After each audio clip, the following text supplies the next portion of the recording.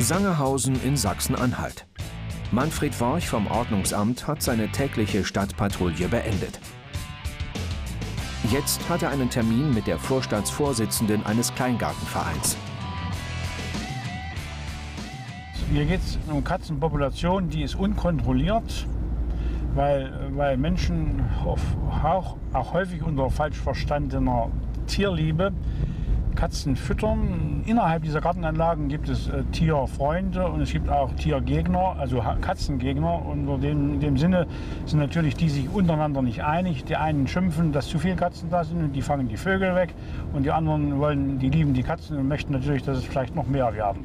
Ich bin da verabredet mit der Vorsitzenden des Gartenvereines und da hoffen wir darauf, dass sie jetzt äh, wieder ein paar Katzen eingefangen haben, die wir jetzt ins Tierheim bringen können, um sie kastrieren zu lassen. Sangerhausen betreibt ein Tierheim, in dem Tierärzte die Kastrationen an den verwilderten Katzen vornehmen.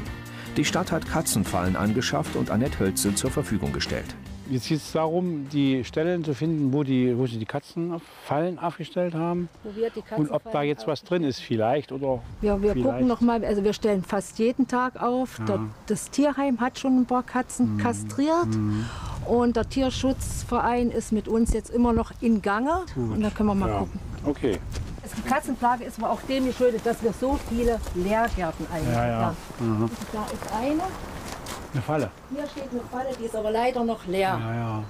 Der Garten ist jetzt nicht belegt. Das ist ein Lehrgarten. Das ist ein Lehrgarten. Das ist ein Lehrgarten. Mhm. Wir haben 320 Gärten, 209 sind vergeben. Und wir haben so einen hohen Leerstand. Ja. Also überall, wo Ruhe ist, verkriechen die sich und mhm. können sich also unweigerlich mhm. Laut Satzung des Vereins ist Tierhaltung verboten. Die Kleingärtner dürfen Katzen und Hunde zwar mitbringen, müssen sie aber mitnehmen, wenn sie nach Hause gehen. Ich habe keine Katzen. Ich habe keine sehen. Nee, ich weiß nicht, wo die rumschwimmen. Die schwimmen eigentlich in der ganzen ja, Anlage. Ja, daher. Oh, vorsichtig. Na? Katzen.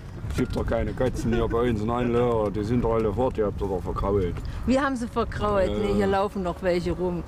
Ach ne, die Bahn, lass die Bahn laufen, die zwei. Ja, aber sie sollten es werden immer mehr, wenn sie nicht kastriert sind. Das ist eine falsche Herangehensweise, wenn Sie so denken. Die dürfen ja auch hier weiter rumlaufen, aber bitte schön kastriert. Gut. Gut. Wollen wir hier mal reingehen jetzt? Ich gehe vor. Das ist auch ein leerstehender Karten. Annette Hölzel bekämpft das Katzenproblem seit drei Jahren. Denn neben der Vermehrung sind die verwilderten Tiere nicht geimpft und können ansteckende Krankheiten verbreiten. Katzenfalle ist leider auch noch offen. Hier wird Futter reingemacht, hier ist rechts und links. Und wenn man, jetzt muss ich mal gucken, ob ich ein kleines Stöckchen finde. Da ist Thunfisch meistens drauf. Ich brauche ein Stück. Hier. Gut. Und wenn die Katze dann hier drauf geht, dann geht's schnapp. Und dann ist die Katze hier drinnen und die Katzen werden dann kurzerhand abtransportiert zum Tierarzt.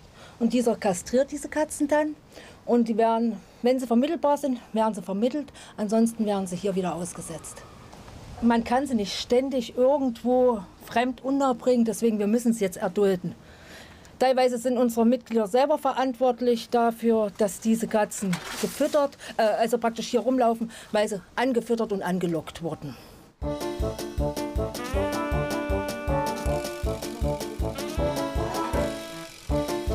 Diese Kleingärtnerin hat einen ehemals verwilderten Kater aufgenommen. Der Max ist hier, der wurde kastriert und der wird jetzt weiter gefüttert von euch, stimmt's? Der läuft nicht mehr weg seitdem. Ja, ist klar, die Eier sind ab. Also die werden gekennzeichnet, die kastrierten Katzen? Die ka das heißt, kastrierten Katzen werden gekennzeichnet, kriegen einen Chip rein. Ein Chip. Und äh, wurde eine Wurmkur gemacht und ein Zeckenpräparat hat sie auf den Kopf gesetzt, äh, gekriegt. Und dann wurde sie hier weiter, damit das Gartenmitglied diese Katze füttern kann. Wir haben den ja vorher gar nicht gekriegt. Da war ja, der hat gekratzt und jetzt liegt, läuft er einen hinter den Füßen hinterher. Der Tierschutzverein Sangerhausen kümmert sich um die verwilderten Katzen. Mitarbeiter Stefan Körber hat Katzenfallen aufgestellt. Es wird halt gemeldet, dass die Katzen hier teilweise getötet werden, die Jungschen. Und das ist auch nicht nur strafbar, ne, auch ähm, vom menschlichen Aspekt her einfach schlimm. Ne, weil sowas macht man einfach nicht. Und da wir uns das nicht mit angucken konnten, haben dann Fallen hergebracht. Ich glaube, schon am ersten Tag hat man schon zwei, drei Katzen drin. Die gingen dann auch gleich noch zum Kastrieren am selben Tag. Also die Kastration ist im Endeffekt Tierschutz. Wer eine verwilderte Katze füttert, wird juristisch ihr Besitzer und ist damit für das Tier verantwortlich. Einige Kleingärtner auf dem Gelände ignorieren das. So, Herr Borchen, hier ist jetzt das Problem, da waren wir mit dem Tierschutzverein auch schon zugange. äh, er hat mehrere Katzen, die er füttert und wir kommen nicht dran und er verwehrt uns den Zugang. Inwieweit kann uns das Ordnungsamt hier helfen? Also ich sehe da sehr, sehr äh, von mir aus äh, schlechte Chancen, da jetzt hier einzugreifen, wenn Sie es nicht schaffen als Verein. Von daher äh, kann ich also Ihnen da jetzt grundsätzlich auch nicht helfen. Kann man die restlichen Katzenfallen noch kontrollieren? Gut, alles klar. Die Vereinsvorsitzende muss den Konflikt mit dem Kleingärtner vereinsintern klären. Manfred Worch ist nur für die Bekämpfung der Katzenplage zuständig. Hier haben wir jetzt noch mal eine Falle drin, glaube ich. Ja. Ich sehe auch schon eine Katze da hinten in der Ecke. Das sehen wir schon, eine Katze. Jetzt haut sie ab. Ich würde mich auch nicht fangen lassen, wenn ich meiner Fraulichkeit opfern müsste. Da bin ich mal gespannt. Ist auch leer. Aber die Falle hat nicht ausgelöst, aber eine Katze war drin. Das Futter ist alles weg. Das ärgert uns richtig. Weil hier füttern wir, wir stellen Falle hin und äh, die Katzen, die hier fressen, die werden eigentlich nur gefüttert und nicht sozusagen gefangen und zum, zur Kastration überführt.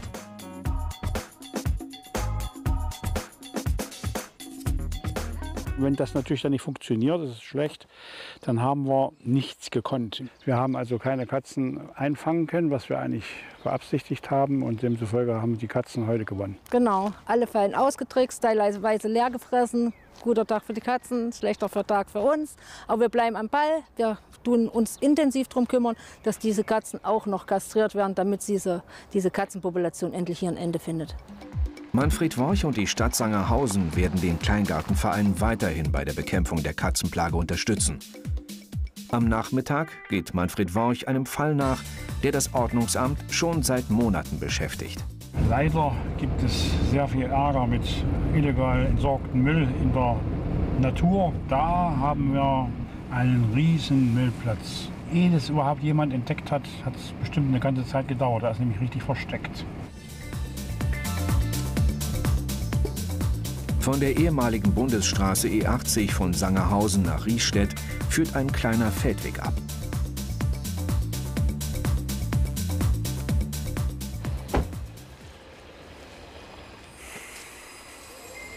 Wo ich das letzte Mal hier war, das ist erst vorige Woche gewesen, ich glaube, da ist schon wieder was dazugekommen. Das ist Müll und natürlich, was nicht zu übersehen ist, Plastikabfälle, Plastikabfälle, Plastikabfälle. Auf den ersten Blick erschlägt einen. Ein nicht aufhörender Exzess hier der Willkür, kann man sagen. Die Aufgabe des Ordnungsamtes ist es, Hinweise auf einen Verursacher zu ermitteln. Für die Beseitigung der illegalen Müllhalde ist die Kreisverwaltung des Landkreises Mansfeld-Südharz zuständig. So, dann ran an die Buletten. Müssen wir mal gucken, ob wir was finden. Es ist die unangenehme Aufgabe eines das, äh, hier in, in dem Müll rumzusuchen. Hier ist Tomatenketchup, Eimer von Tomatenketchup. Das weist darauf hin, dass irgendwo eine, eine, eine Firma, welche Tomatenketchup verarbeiten, Möbel, Autoräder. Hier sind Säcke. Wollen wir mal auskippen. Jedes Bundesland hat seinen eigenen Umweltbußgeldkatalog. Wie hoch die Strafen ausfallen, ist vom Standort abhängig. Für Hausmüll ist im Schnitt ein Bußgeld zwischen 10 und 50 Euro fällig.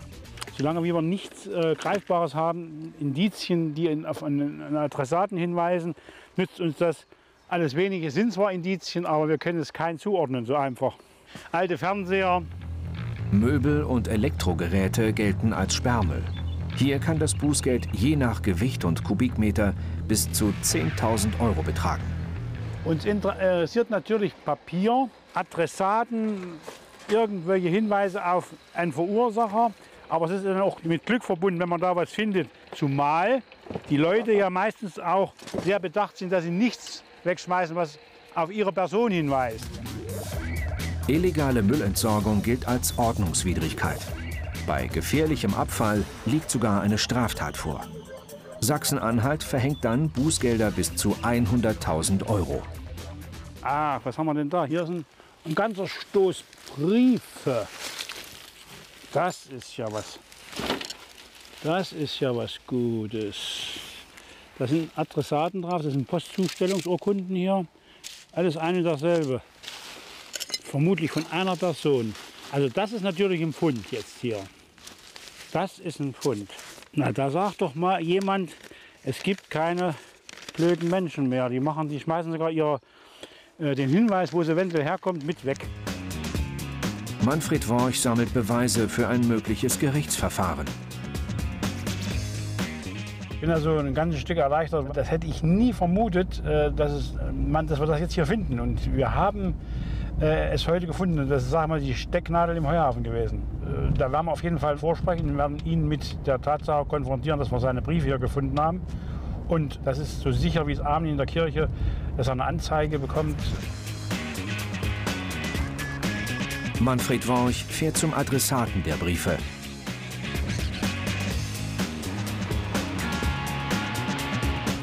Steht auf jeden Fall der Name erstmal nicht dran hier. Wir mal gucken, ob wir jemanden treffen hier im Haus. Schönen guten Tag. Ich bin der Herr Worch vom Ordnungsamt. Ich suche hier in dem Haus einen Herrn äh, Florian. Wissen Sie, ob der hier wohnt? Der wohnt ja nicht. Straße 4, das muss also hier sein. Das ist zum Beispiel ein Brief. Florian. Nee. Und das sind alle, alle an dieser Anschrift hier. Alles an die Adresse. Ja, na klar. Na, na, na. Da muss was Da dran muss der sein. Name gewechselt haben oder was? Also Florian hat ja aber Nein, nicht das gewohnt. gab's auch nicht, ganz Ohne ehrlich. Mist Aber jetzt. Sie sehen es doch. Kirchner kennen wir nicht. Nee, Hä? Ganz ehrlich? kenn ich nicht. Gut, wenn wir irgendwas rausfinden, dann sagen wir da Bescheid. Prima, wäre gut. Ja, machen wir. Manfred Worch ermittelt am nächsten Tag über das Einwohnermeldeamt den Aufenthaltsort des Gesuchten. Er hat bis 2015 in dem Haus gewohnt.